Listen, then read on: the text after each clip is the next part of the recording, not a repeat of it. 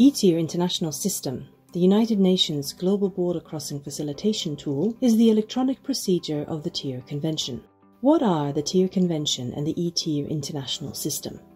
When traveling along European and Asian roads, you will have recognized the familiar blue and white TIR plate borne by thousands of lorries and semi-trailers using the TIR customs transit system. For the driver, the transport operator and the shipper, this plate stands for Fast and Efficient International Transportation by Road. TIR stands for Transports Internationaux Routiers, or International Road Transports.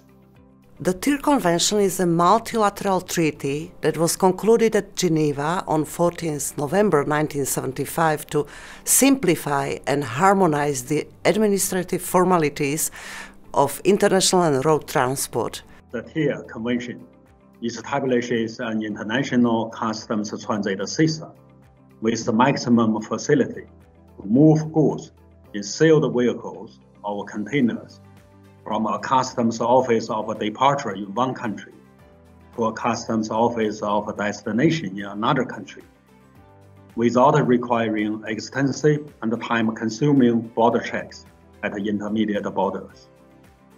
At the same time, providing customs authorities with the required security and guarantees. The TIR system covers customs transit by road, it also allows for a combination with other modes of transport like rail, inland waterway, and even maritime transport, as long as at least one part of the total transport is made by road. TIR is historically the first public-private partnership between the UN and IRU, the World Road Transport Organization. IRU is the voice of more than 3.5 million companies operating mobility and logistics services in over 80 countries. IRU is mandated by the Administrative Committee of the TIR Convention to issue and distribute TIR carnets, as well as manage the TIR International Guarantee Chain. To date, more than 33,000 international transport operators have been authorized by their respective competent national authorities to access the TIR system using around 1 million TIR carnets per year.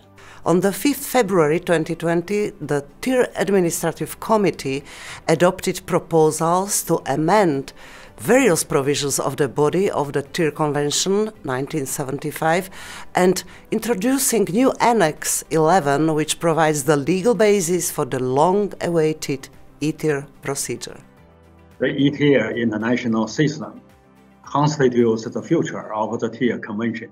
It is a prerequisite for the revitalization of the TIR system, and the country is awaiting its interconnection with the national customs systems. The eTIR international system is a customs-to-customs -customs electronic system hosted by UNECE. When it comes to international transit of goods, vehicles or containers, eTIR ensures the secure exchange of data between national customs systems in line with the TIR Convention. At the same time, it allows customs to manage the data on guarantees issued by the guarantee chain to holders who are authorized to use the TIR system. Advanced data shall be submitted by the holder or his or her representative to the competent authorities of the country of departure and of the country in which an amendment to the declaration data is requested. Once the declaration or the amendment has been accepted in line with national law.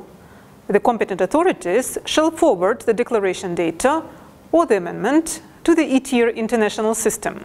Advanced TIR data and advance amendment data may be submitted either directly to the competent authorities or via the eTIR international system. While accepting the declaration in the country of departure or an amendment to the declaration data in any country along the itinerary, the competing authorities shall authenticate the advanced TIR data or the advanced amendment data and the holder in accordance with national law.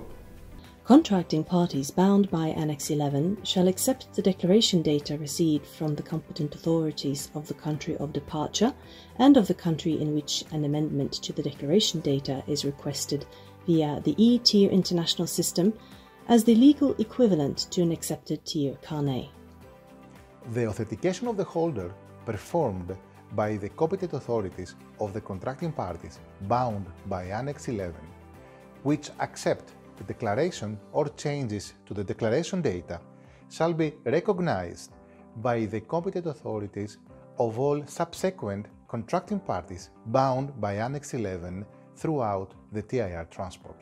Where the eTIR procedure cannot be started for technical reasons at the Customs Office of Departure, the TIR carnet holder may revert to the TIR procedure.